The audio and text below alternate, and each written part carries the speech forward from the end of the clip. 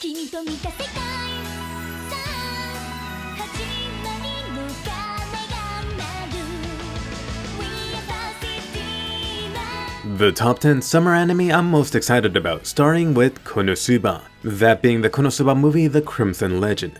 I am super excited for this, especially from the trailers. This is in fact going to be a sequel to the first two seasons for Konosuba. This will be covering Konosuba Light Number 5, which means the useless bunch will be going to Megumin's hometown. For the Konosuba movie, there's actually a studio change, your favorite studio, JC Staff, instead of Studio Dean. And I know, I know, this is gonna make you think of the recent One Punch Man Season 2 situation. But actually, this is a perfect example of why the team behind the anime production is equally as important as the studio, or even more important for this case, the Konosuba movie. You got the same director, same music composer, same chief animator, and so on. Basically, the same team who worked on Konosuba Season 1 and Season 2, they're just doing Konosuba in a different location. But anyway, hopefully you checked out the second trailer. I know some people were worried from the first Konosuba movie poster released, but my god, you could tell the animation has actually been taken up a notch for this movie.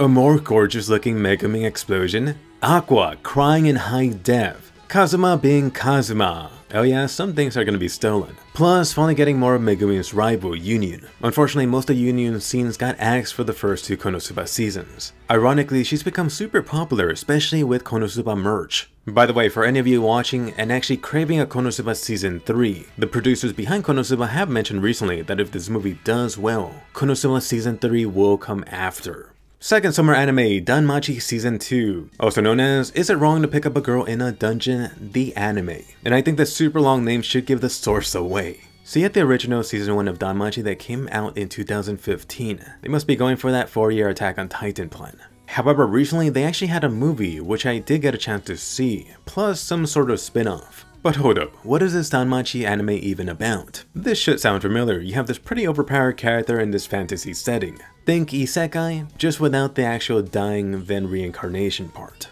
It focuses on this character Bell who meets the boob string goddess. Along the way throughout season 1, the adventurer Bell manages to get quite the team ready. The world for Danmachi follows very similar video game mechanics. You form a party, you go out to dungeon, there may be PvP, hopefully you don't die, you battle monsters, gain experience, get drops, level up some, and then sell your loot. Then start over the next day.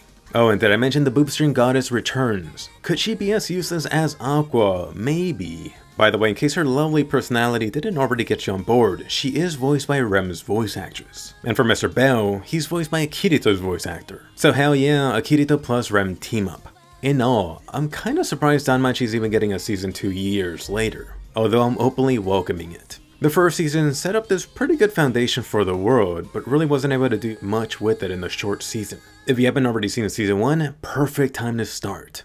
Next summer anime, Dr. Stone. Not to be confused with your local dealer. Dr. Stone is a shonen series in the Weekly Shonen Jump. It actually started pretty recent in 2017. And get this, 24 episodes confirmed. But what is this Dr. Stone about? All of a sudden one day, everyone on Earth suddenly got super stoned. That's right, the entire human population got rock hard. A few thousand years later, the main character for this story breaks out somehow. You could expect he winds up in this more peaceful, environmentally friendly world. Tons of human-sized statues everywhere. His science buddy had already been awake for several months. Now it's time for these two bros to science the crap out of this and hopefully make things normal. And really, just from the starting premise and the science element, this has me extremely interested. You have so many freaking possibilities from the starting point, and it definitely doesn't sound like your typical shonen adventure. So far, you got a couple of trailers out. Watching them gave me this Made in Abyss vibe. And for one of the main characters, you have this Yu-Gi-Oh looking guy. Shut up and do me, Yugi. Oops, Kaiba's still stoned. Anyway, definitely let me know down below if you're also interested. Do you like the premise, or how about the character designs? Are you ready to get stoned too? Next summer anime, Weathering With You, also known as Tenki no Ko, literally Weather Child. Yes, this is coming from Your Name slash Kimi no Na Wa's director, Shinkai. That should already get you super wet with excitement. Cause really, from the trailers released so far, this definitely looks like anime of the year potential for me. At least anime of the year for new anime that isn't a sequel. My god, the animation looks absolutely gorgeous. It should make your eyes orgasm on the big screen. You know I'm really a sucker for this watery, rainy animation, so this looks right up my alley. I'm really just hoping and wondering, will Weathering With You actually have a story to match up with this rich animation? Looking at Shinkai's track record, we might be in good hands. Anyway, you're hearing all this amazing stuff, but what is this movie even about? Is it another body swap anime tale? Just like Kimi no Na wa, you got Tenki no Ko focusing on a male and female lead. Both of these two are high school students. They find themselves getting wrapped up in this unbalanced, messy weather story. The girl Hina in this is gifted with a special mysterious power that allows her to control the weather to some extent. And that's really everything you and I need to know about this. But really, don't take my word for this. Check out the beautiful trailers. The second one especially already had me in tears. And let me not forget, the wonderful Radwimps from Kimi no Na wa is making the music for this movie too. So yes, you have the ultimate winning combination. This movie is coming out in July, so expect a non-spoiler review from me on day one. Next summer anime, Isekai Cheat Magician. Yes, this being one of the four Isekai anime coming up. To be honest, I didn't even know about this cheat edition before the recent promos. The visuals and trailers got me curious. This time you got not one, but two starting isekai main characters. Hopefully this will at least be a little bit above middle of the road for isekai anime. And if it bombs, if nothing else for me, it'll make Konosuba that much better. At this point, I think I'm graduating from this isekai completionist to an isekai connoisseur. But anyway, what is the hype even about? Is there any hype? I think you can pretty much guess the story for this. Typical isekai adventure, except this time you got two main characters, both being magicians. So at least from the title, I'm glad that they're open with the cheap opness of both of the characters. On top of this, I'm really more curious how this dynamic will work when you got an actual female protagonist who's been transported too. So far in recent isekai anime, it's been all male-centric. I'm definitely more interested in this Megumin-like character. And can you blame me, I'm not too interested in this Kirito clone number 35. I'm just hoping Megumin's op sister won't be joining the guy's harem. Come on, let her have her own harem. And in case you're not excited yet, let me mention this. MYTH & ROID is doing the opening theme. As for the female character, she's being voiced by Megumi and Emilia's voice actors. How appropriate. Next summer anime, the ReZero OVA special, the second one. Just a little appetizer before ReZero season 2. Unfortunately for this ReZero special, it's gonna be lacking the lovely Rem. Hey, hey, come back! It does suck, but you do have to come to terms with this. Also, unlike the first ReZero special, this one will be required viewing. The second ReZero special will be Emilia focused. What was Emilia up to before the ReZero Season 1 events? In other words, pretty much this ReZero prequel. How did Emilia ever meet Puck? This whole backstory is going to be extremely important for the ReZero Season 2 events. And let me just say it here, hopefully you love or like Emilia or you're definitely not gonna like ReZero Season 2. You got a ton of this half-elf beauty coming. Hopefully this will make our combined dozen of Emilia fans balloon into the hundreds. And in case you're desperately crazy for ReZero Season 2, still no release date, but ReZero Season 2 is expected sometime in 2020. Really cause the White Fox Studio is super busy with other anime projects for the rest of this year. Until then, you always do have the ReZero light novels, which honestly I couldn't recommend enough. In terms of writing, ReZero is like the gold standard for the isekai genre. Not to mention, you'll find the juicy details the anime skipped out on. Next summer anime, Fire Force. This anime is sheer on fire, super blazing. It's kind of funny too since I first got wind of the series from the recent Attack on Titan collab here in Japan. So Fire Force is based on the shonen manga, and oddly enough it seems to have a very similar premise to Trigger's newest Promare anime movie. My non-spoiler review on that is out by the way. For the Fire Force story, you got this taking place in Solar Era Tokyo. Here, you'll find some special fighter fighters fighting these humans who've turned into these blazing creatures called Infernos. These Inferno things are pretty much fire blazing monsters, and they got varying degrees of control over their fire abilities. Some of these stronger fire people actually look human. Pretty much sounds like X-Men and mutants, but only fire powers. For the series, this is going to be focused on the main character with his burning feet ability. Already reminded me a little bit of Deku. This guy does come right alongside with a standard shonen backstory. A mysterious fire took the parents of this guy over a decade ago. So far, there seems to be a lot of potential here, especially for anime visuals when your highlight is this flame type animation.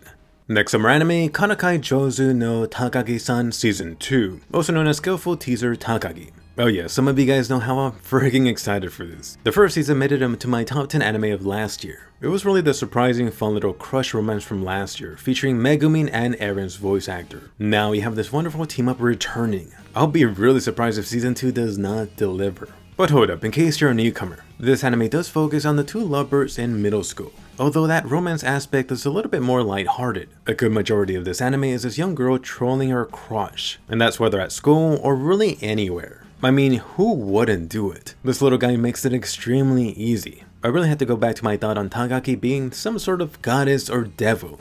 And I know, I know, at first glance it doesn't sound to be like the most exciting thing. If you're looking for a more innocent young romance, this will definitely be up your alley. And it is one of the better ones that's not really cringy. In general, if you like romance or slice of life stories, this may be for you too. Once again, I highly recommend this. Next summer anime, the MILF Isekai anime. In other words, upcoming Isekai anime number 69. How much do you love your mama? That's right, for this anime, it's not your sister, not your childhood friend, but now your mama joining your harem.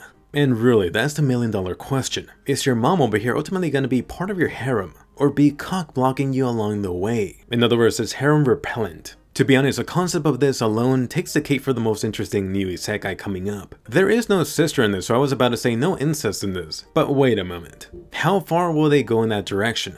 I actually recall back to a few years ago. You had the first volume of this and people were talking about the light novel concept. Oh, did people make fun of it back then? But now, who's laughing? Looks like this ridiculous concept actually worked. It really hit the jackpot with an anime in such a short time. Let's just see if it's any good. But really, even the company behind this is being serious about this. The Isekai MILF already has some figures confirmed coming. That is confidence up the ass. They know this hot mama's gonna be popular. I wonder why. But anyway, will this actually be any good? To be honest, I've heard lukewarm things about the actual light novels. Just go ahead and expect your standard overpowered isekai character with his questionable harem. On the bright side, this could be leaning more towards the comedy, so there's potential there. I really just hope they make it fun. Next upcoming summer anime, Vinland Saga. Did someone say Vikings? So you have another shonen as Taito. You got a very familiar tale with the main character seeking revenge in this Viking world after his papa got murdered. So how perfect is this? The Wit Studio has so much experience doing raging revenge boy characters. And yes, this is the Wit Studio doing it, although not the standard Attack on Titan director. So far, 24 episodes have been confirmed. But get this, they are extremely confident. They're dropping their first three episodes on day one. Interestingly, this Vinland Saga started off in the weekly Shonen Jump, before jumping ships to a monthly magazine, which is another interesting Attack on Titan parallel. From the trailers, this looks super bloody and violent. I'm getting a little bit of a Game of Thrones vibe. But let me just put it out there and be completely honest. Part of me doesn't even care about the story. I'm gonna be like that super obsessed, jealous girlfriend, just looking at this detail by detail. In other words, how much care is the Wit Studio putting into this other anime? At least in one way or another, this is gonna be super fun.